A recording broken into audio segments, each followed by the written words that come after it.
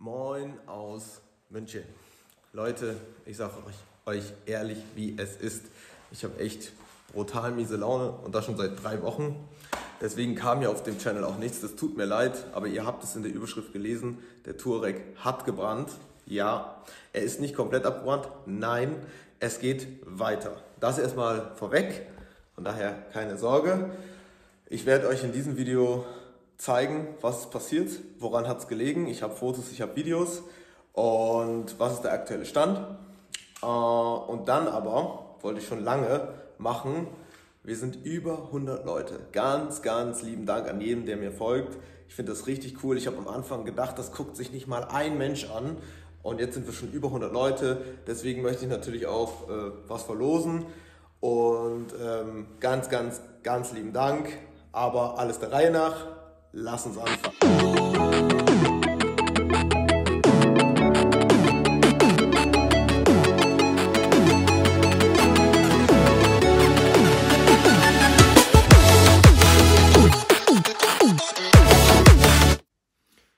Also, was ist passiert? Wir wollen es auch nicht zu lange, nicht zu sehr in die Länge ziehen. Wir haben drei Wochen an dem Touareg Rom repariert. Wir haben ihn ja erst hübsch gemacht, dann sollte er repariert werden, haben wir auch getan. Dazu folgen die Videos noch. Glaubt mir Leute, so schlimm war das gar nicht. Auch was die Leute erzählen mit dem V10 und so weiter und so fort, kann ich euch jetzt schon mal vorwegnehmen. Guckt euch die Videos an. So dramatisch ist das alles nicht. Ähm, es ging echt alles super cool und easy und die Teile waren auch nicht besonders teuer. Das auch. Okay, das kann ich schon mal vorwegnehmen. Zwei Videos habe ich noch, die kommen nach diesem Video. Aber jetzt zur Sache. Was ist passiert? Und zwar, wir haben dann rumrepariert am Fahrwerk, am Motor und am Getriebe. Was noch? Und noch ein paar Kinkerlitzchen drumherum. Ähm, und dann war alles erstmal in Ordnung. Wagen fuhr sich extrem viel besser als vorher. Gut. So, es gab nur eine Geschichte, die Lichtmaschine. Die Lichtmaschine ist wassergekühlt. Vielleicht weiß es der eine oder andere, die sitzt im V oben drin. Die hat noch ein bisschen geleckt. Gut, haben wir ein paar Dichtringe ausgetauscht und und und, wollten mal gucken. Es war nicht dramatisch schlimm. Ähm, konntest erstmal mit weiterfahren. So, das habe ich auch gemacht. War also auf dem Rückweg von München. Der Mo bin normal gefahren. 120, 130, jetzt nicht übermäßig schnell. Ähm, irgendwann gegen Ende, Geschwindigkeit erhöht, Richtung 140, 150, also nicht dramatisch viel. Und wir wissen noch nicht ganz genau, was passiert ist. Jedenfalls war es so, ich war auf der Autobahn, auf einmal sagt das Auto, Verbraucher werden abgestellt. Ich so, was jetzt? Habe auf der Batterieanzeige, der hat ja vorne im Tacho eine Volt, eine Volt-Anzeige von 14 auf 12. Das heißt, Lichtmaschine arbeitet nicht. Batterien haben ja 12 Volt, wenn du sie misst. Und wenn die Batterie, wenn die Maschine, Lichtmaschine arbeitet, hat sie vier, haben sie 14. Hat auch immer 14 angezeigt, dann waren es 12, wusste ich, oha, Lichtmaschine hat jetzt aufgegeben, denke mir so, Mensch, 50 Kilometer, 100 Kilometer vor zu Hause, muss das jetzt sein? Ja, es musste sein. Dann war es aber so, im nächsten Moment kam die Anzeige Öldruck, Öldruck weg. Und zwar rot. Das heißt, denke mir, fuck, wo kommt jetzt, also irgendwo entweicht der Druck oder entweicht Öl. Ich gucke im Rückspiegel und sehe irgendwelche Funken fliegen, als wäre es Glut, wie von, als würde so von einem Grill so Grillkohle hinterher rausschmeißen. So, so musst du es vorstellen, ja. Schon kommt der Qualm auf den Motor, ich rechts ran, Motorhaube auf. Gott sei Dank hat das Auto ja einen Feuerlöscher. Ähm, ein Pulverfeuerlöscher, Gott sei Dank. Ähm, Motorhaube auf. Innerhalb des Vs, da wo die Lichtmaschine ist, war eine Flamme zu sehen. So, so ungefähr groß, wie wenn du einen Aschenbecher anzündest, okay? Also nicht ganz mini, aber auch nicht ganz groß, irgendwas dazwischen.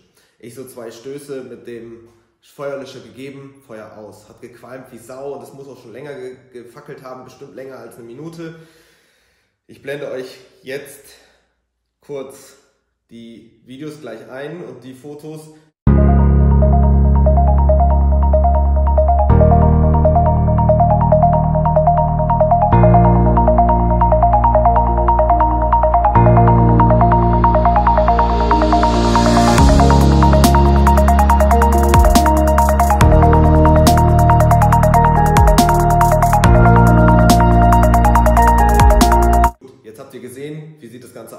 So sieht es aus. Das heißt, Lichtmaschine, jetzt muss sie auf jeden Fall direkt neu. Gut, undramatisch. Jetzt ist aber das Thema, der hat irgendwo den Öldruck angezeigt. Und da in dem Bereich, es sieht mir nicht so aus, als wäre da irgendwo Öl gewesen. Oder als wäre da irgendwie was weggeplatzt, weil wir haben da alle Dichtungen neu gemacht und, und, und. Das heißt, wir haben jetzt mehrere Baustellen. Einmal die Lichtmaschine. Gut, die kannst du tauschen, ist auch nicht so dramatisch teuer. Im Zubehör 300, 400 Euro habe ich gesehen. Äh, wenn du eine Hitachi oder eine Delphi oder was möchtest, dann musst du halt 500, 600 bezahlen und die alte zurückschicken. Geht alles. Okay, gut.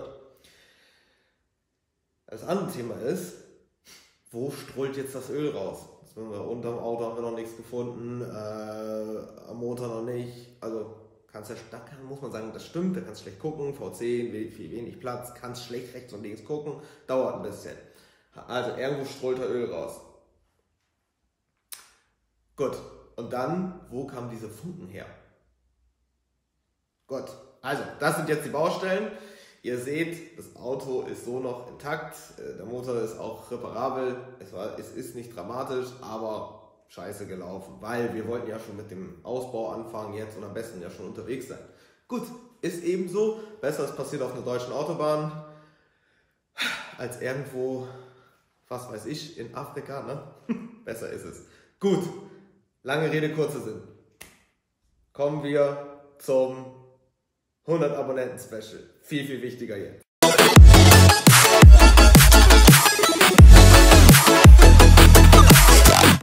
Der GTI ist auch nicht schlecht, muss ich sagen. Der ist auch nicht schlecht. Der ist auch ein gutes Auto. Nenn mich nicht VW-Fanboy. Alles gut. Ich habe vom Dacia bis zum Ferrari, von alt bis neu, äh, für jedes Auto irgendwo was übrig.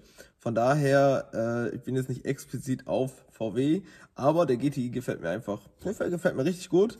Ähm, Gerade so in der Kombi. Falls es auch deine Meinung ist oder nicht deine Meinung, schreib es mir gerne in die Kommentare. Ähm, aber 100 Abonnenten Special. Leute, 100 Leute, ich weiß, ich wiederhole mich, aber ich hätte nicht gedacht, dass überhaupt ein einziger zuguckt. Von daher möchte ich mich natürlich auch gerne bei euch bedanken für jeden Einzelnen, der es immer schaut, der mir einen Daumen gibt und abonniert hat. Danke, danke, danke. Ähm, wer es gerade schaut und noch nicht, würde mich über ein Abo freuen, über einen Daumen, über die Glocke, ihr wisst schon das Übliche. Ähm, und daher möchte ich auch was zurückgeben. Amazon-Gutschein 50 Euro wäre so meine Idee. Ähm, dafür das, dieses Video hier liken, dafür kommentieren und natürlich folgen. Und dann ähm, mache ich mal so ein Zufallsdings unter den Kommentaren und verlose das Ganze. Genau, und dann würde ich sagen, das nächste Mal bei 1000, oder? Und dann bei 100.000. Ja, Leute, jetzt haben wir Blut, jetzt habe ich Blut geleckt, jetzt komm. Hätte doch nie gedacht, dass das überhaupt 10 Leute aufrufen. Gut, das ist die eine Sache. Ich hätte noch eine andere Sache. Ähm, die Reparaturkosten waren Gott sei Dank alles noch im Rahmen, aber wir haben so geile Ideen für den Umbau. Richtig, richtig gut. Folierung, Reifen, Lichter und und und. Das Ding soll richtig brutal werden. Ne? Und nicht so ein, weil jetzt sieht er ja noch aus wie Moddys alter oder Opis alter Touareg. Im Blau-Beige ist er ganz nett. Aber der soll doch brutal werden. Der soll doch geil werden. So. Unter jedem Video poste ich so Links, das heißt von Zeug, was ich benutzt habe, ob das Pflegemittel sind, Maschinen oder Reparaturteile, auch unter, werde ich äh, äh, äh, verlinken. Und das sind so zu, das sind ähm, sogenannte Links, Affiliate-Links, wie das so schön heißt. Wenn du da draufklickst, es ist nichts teurer, das ist, das ist einfach nur eine Hilfe von mir an dich, falls du dich dafür interessierst und sagst, hey, ich möchte das auch gerne haben, du klickst darauf, musst es nicht bei Amazon suchen, es poppt direkt drauf ähm, auf und du kannst es dir bestellen. Wenn du dir das bestellst, ist es genau der gleiche Preis wie immer, das ist ja klar, aber ich kriege ein paar Cent davon ab. Und darüber freue ich mich natürlich, es wandert alles in unsere Touareg-Kasse. Das wollte ich noch, noch, noch mal sagen, unter den Videos, unter jedem Video bis jetzt, ähm, immer die passenden Links dazu. Ähm, ich habe auch noch einen anderen Link, weil äh, es, es kommt jetzt wieder die Zeit für äh, Versicherung. Ich muss ganz ehrlich sagen, das hat mir geholfen bei dem Touareg, weil ganz ehrlich, zwischen 200 und 1000 Euro für die Haftpflicht wäre da, glaube ich, alles möglich gewesen. Und das finde ich eine richtig krasse Spanne. Also ich bezahle lieber 200 als 1000, muss ich ganz ehrlich sagen. Ähm, und das habe ich auch nur gefunden, weil ich im Internet da verglichen habe, ist klar. Ähm, und den Link, den packe ich euch auch mit rein. Äh, da kommt ihr auf eine ganz normale Seite.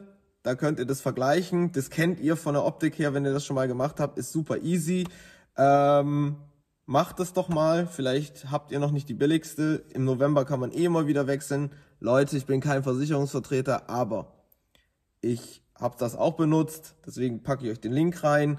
Wenn ihr da draufklickt, wenn ihr irgendwas sparen könnt, wenn ihr eine neue abschließt, kommen wieder ein paar Cent in meine Touareg-Kasse, würde ich mich sehr drüber freuen. Wenn ihr noch andere Ideen habt, ich habe da noch nicht geschaut im Internet, schreibt es mir gerne in die Kommentare, so im Sinne von Crowdfunding oder ich habe da schon mehrere Sachen mal gesehen. Falls ihr da was kennt, postet mir das doch einfach mal in die Kommentare, weil, ja, sorry Leute, ich bin halt auch kein, ich bin kein Multimillionär, meine Mittel sind nicht unbegrenzt und äh, ich habe nur einen gewissen Rahmen aber ich würde das Ding halt super, super gerne, super, super geil machen und brutal. Äh, ja, und wenn es da Möglichkeiten gibt, ich meine, ich stelle mal, gut, wir sind jetzt 100 Leute, aber stell dir mal vor, hier gucken 1000 Leute zu und jeder gibt nur einen Euro. Ich meine, einen Euro, pff, das ist gefühlt nix und dann, dann kann man direkt wieder was ganz krasses wieder machen. Haben wir halt alle Bock drauf. Und äh, das finde ich halt irgendwie eine mega geile Idee, dass man so quasi untereinander. Äh, das habe ich nämlich auch schon mal gemacht bei einem anderen Projekt. Ich fand das mega cool und deswegen. Wer das scheiße findet, kann mir das natürlich auch in die Kommentare schreiben. Gott, ne? Ist ja auch kein Problem. Gut, das wollte ich noch mal loswerden. Äh, jetzt gibt's noch ein paar Bilder vom Touareg. Und äh, das, die nächsten Videos, seid gespannt. Einmal von der Reparatur, ist echt gut. Gar nicht so schlecht, wie man denkt. Und ich vor der Reparatur bin ich zum Ölwechsel gefahren. Leute, das müsst ihr, das müsst ihr euch auch unbedingt reinziehen. Schnell, ohne, ohne, ohne Mist jetzt. Schnellster Ölwechsel in neun Minuten, günstigster und bestes Öl.